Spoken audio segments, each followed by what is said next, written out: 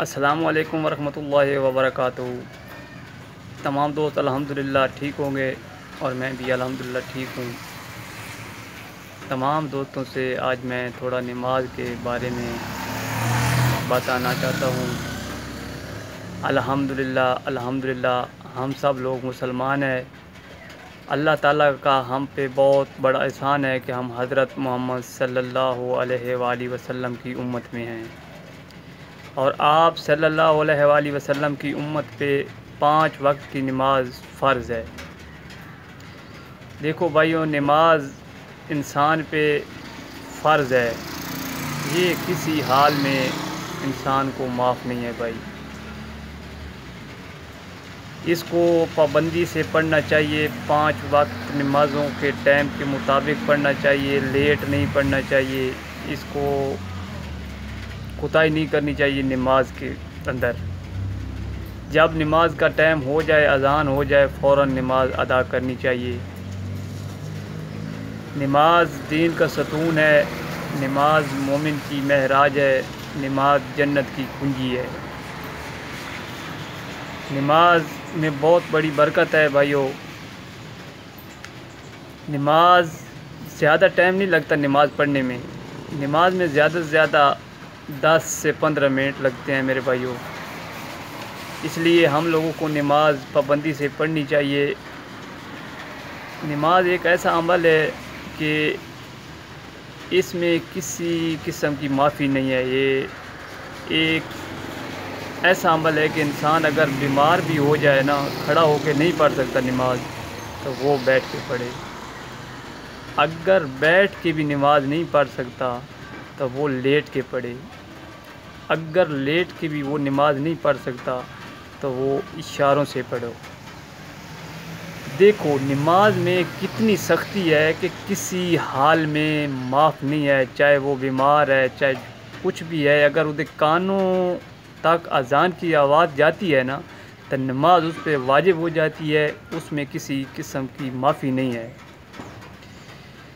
और हम लोग दुनियादारी के चक्कर में पड़ गए हैं और दुनियादारी के चक्कर में कितनी अपनी नमाज़ें छोड़ चुके हैं भाइयों। इसलिए हमें दुनियादारी से बचना चाहिए, नमाज़ को अपने वक़्त पर अदा करना चाहिए, क्योंकि नमाज़ बहुत बड़ा अमल है। ये ऐसा अमल है कि इसमें कोई ख़र्च नहीं है। इंसान को बस थोड़ा वक़्त निकालना पड़ता है इसके लिए।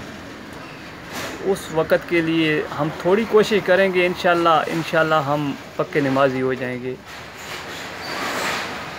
और मैं उम्मीद करता हूँ सब नमाज़ सब दोस्त नमाज़ पढ़ेंगे और अपने दोस्तों को भी दावत दो, अपने बच्चों को नमाज़ की आदत डालो। देखो ना, आपकी वजह से अगर कोई एक नमाजी भी बन जाता है ना। वो नमाजी तो अलहमदिल्ला उस पर तो फ़र्ज़ है, वो तो नमाजी बन गया, लेकिन उसका आपको भी फ़ायदा होगा। जितनी वो नमाज़ पढ़ेगा ना, उसका सवाब आपको भी मिलेगा। ये हदीस शरीफ है कि नेकी को आगे फैलाओ, ताकि दीन ख़त्म ना हो, दीन आगे फैले। देखो ना, हम अगर आज चुप करके बैठ गए, अगर हम नमाज़ नहीं पढ़ते, हम ही ना पढ़े, औरों को भी ना पढ़ा नमाज़ से पीछे पीछे होते होते होते होते होते, अल्लाह न करे, अल्लाह न करे, एक दिन ऐसा आ जाएगा कि कोई नमाजी भी नहीं रहेगा। इसलिए हमको दीन के अंदर जाना चाहिए, दीन को सीखना चाहिए, नमाज़ पढ़नी चाहिए। क्योंकि हमारी ज़िंदगी इतनी लंबी नहीं है भाई आपको पता है कि हमारी ज़िंदगी बहुत छोटी ज़िंदगी है। ये इतनी ज़िंदगी है जितना अजान और जमात के अंदर टाइम होता है। देखो, इंसान जब पैदा होता है तो उसके कान के अंदर अजान दी जाती है और जब इंसान मर जाता है तो उसकी नमाज़ अदा की जाती है। ये वो अजान और वो नमाज़, इसके अंदर टाइम देखो कितना है। पंद्रह से बीस मिनट या पच्चीस मिनट, ये ज़्यादा से ज़्यादा टाइम है हमारी ज़िंदगी का। आगे बहुत बड़ी ज़िंदगी है। अगर हम इधर नेक अमाल करेंगे तो हम आगे आसानी वाली ज़िंदगी गुजार सकेंगे। अगर हम इधर नेक अमाल नहीं करेंगे तो आगे हमारा जो अशर होगा, वो अल्लाह बेहतर जानता है भाई। हम लोगों को तो नहीं पता। अल्लाह बहुत करीम है, रहीम है। वो रहम करने वाले हैं हम लोगों पर।